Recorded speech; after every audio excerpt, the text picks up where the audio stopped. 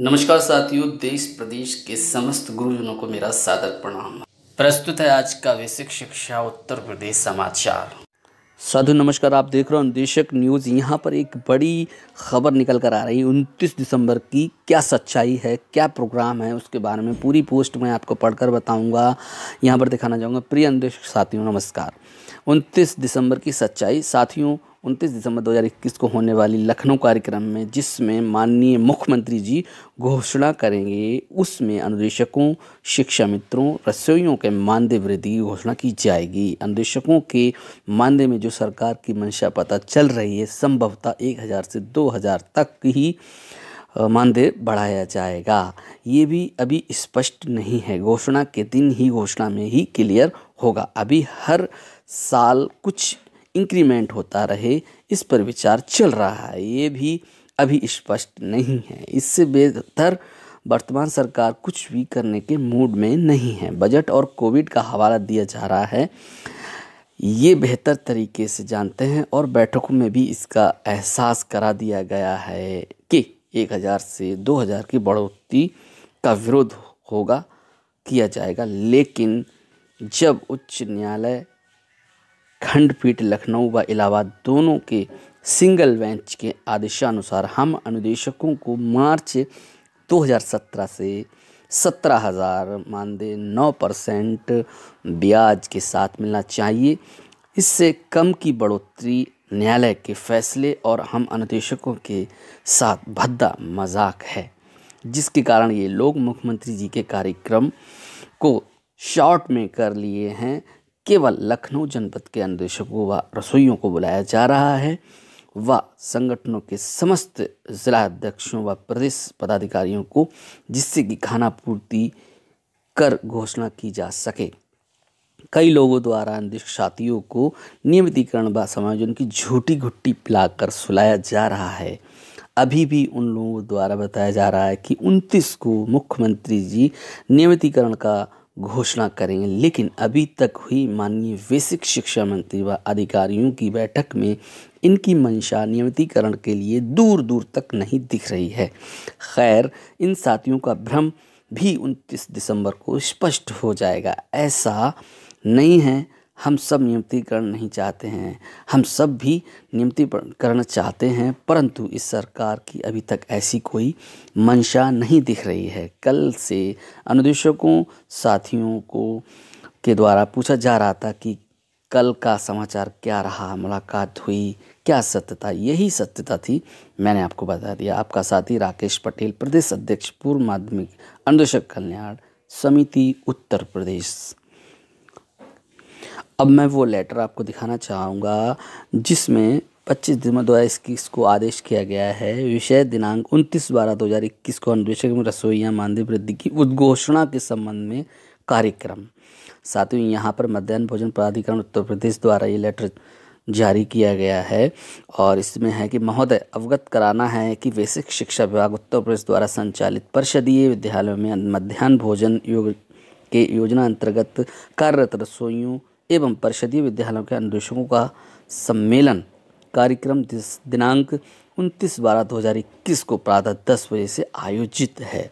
तत्क्रम में आपको निर्देशित किया जाता है कि निम्नलिखित विवरण के अनुसार जनपद लखनऊ के खंड शिक्षा अधिकारी अपने विकास खंड के रसोइयों एवं अन्वेषकों को लाने एवं ले जाने हेतु नोडल अधिकारी नियुक्त रहेंगे। यहाँ पर आपको बताना चाहेंगे कि सिर्फ़ और सिर्फ़ लखनऊ की, लखनऊ ज़िला के जितने भी खंड शिक्षा अधिकारी हैं, वो ही बुलाए गए हैं। वही, वहीं के अनुदेशक रसोईया और शिक्षा मित्रों को बुलाया गया है इस कार्यक्रम के लिए, जैसा कि अभी राकेश पटेल ने अपनी पोस्ट में कहा है, साथियों।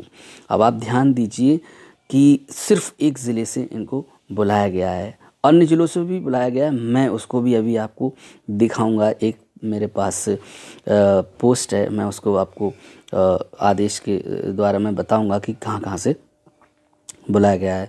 आगे का पढ़ते हैं। कार्यक्रम प्रातः दस बजे से माननीय मुख्यमंत्री जी की गरिमामयी उपस्थिति में सम्मान होना है। अतः प्रातः साढ़े आठ बजे तक रसोईया संघ, प्रतिनिधियों, पदाधिकारियों के साथ रसोइयों को लाने एवं वापस ले जाने की व्यवस्था सुनिश्चित करें। वर्तमान में शीतलहर ऑब्लिक सर्दी एवं कोविड 19 प्रोटोकॉल का अनुपालन सुनिश्चित करते हुए सुरक्षा की दृष्टि से ये ध्यान रखा जाए कि ऐसे रसोइयों का चयन पर कार्यक्रम स्थल पर लाया जाए जिनके साथ बच्चे नहीं हो, ताकि किसी प्रकार की अप्रिय घटना घटित ना हो। ये एक सावधानी के लिए इन्होंने बात लिख दी है। साथियों समझिए इस चीज़ को समझने की आ, कोशिश कीजिए कि उन्होंने साफ़ लिखा है कि जिनके बच्चे साथ में हैं वो बच्चों को ना लाएँ और ऐसी रसोइयों को ना लाएँ जिनके बच्चे हैं। उनको घर पर ही रहने की सलाह दी जाए क्योंकि कोई भी अगर अप्रिय घटना होती है तो उसमें बच्चों महिलाओं की सुरक्षा को लेकर प्रश्न चिन्ह लगता है। साथियों यहाँ पर नीलम उपनिदेशक जी हैं। इन्होंने ये लेटर लिखा है। आप देख सकते हो और 25 तारीख को ये रिलीज़ हुआ है, जारी किया गया है और इसमें कहा गया है। साथ ही बताएँगे, किसी भी अन्य ज़िले को, प्रदेश के किसी भी अन्य ज़िले को अभी फ़िलहाल लिखित ऑर्डर के द्वारा नहीं बुलाया गया है। चाहे वो शिक्षा मित्र हों, रसोईया हों, अनुदेशकों कोई भी। ये सिर्फ़ लखनऊ का आदेश है और लखनऊ के रसोईया अनुदेशकों को ही बुलाया गया है। यहाँ पर एक और बताना चाहिए योगी आदित्यनाथ जी ने अपने ऑफिशियल ट्विटर हैंडल से क्या लिखा है? देखिए, सभी शासकीय, अर्धशासकीय संविदा तथा आउटसोर्सिंग कर्मियों के हित संरक्षक हेतु कृत संकल्पित हैं। कर्मचारियों की समस्या के समाधान के लिए उच्च स्तरीय समितियाँ गठित की गई हैं। सभी के संवाद कर उनकी मांगों पर तुरंत निर्णय लिया जाए, सीएम श्री योगी आदित्यनाथ जी। उन्होंने ये लिखा है अपनी पोस्ट में। यहाँ पर एक और पोस्ट दिखाना चाहेंगे हम।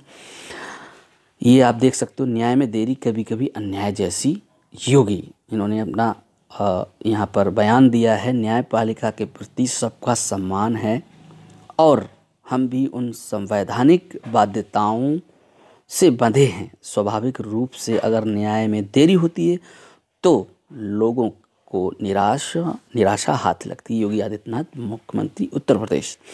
यहाँ पर आपको थोड़ा सा पढ़ के बताएँगे, ये अयोध्या से हैं, विशेष संवाददाता लखनऊ। अयोध्या मामला एक शीर्षक है, समय पर मिला न्याय, उत्तम न्याय माना जाता है। न्याय में देरी कभी कभी अन्याय के समान हो जाती है। जी हाँ महाराज जी, आपने बिल्कुल सही कहा।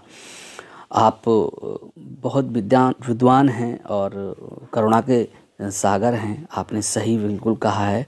लेकिन महाराज जी, यहाँ पर आपको निवेदन के साथ, यहाँ पर करबद्ध निवेदन के साथ आपसे सूचित करेंगे कि आज हमको साढ़े चार, पौने पाँच साल, कह सकते हैं पाँच साल हो गए हैं।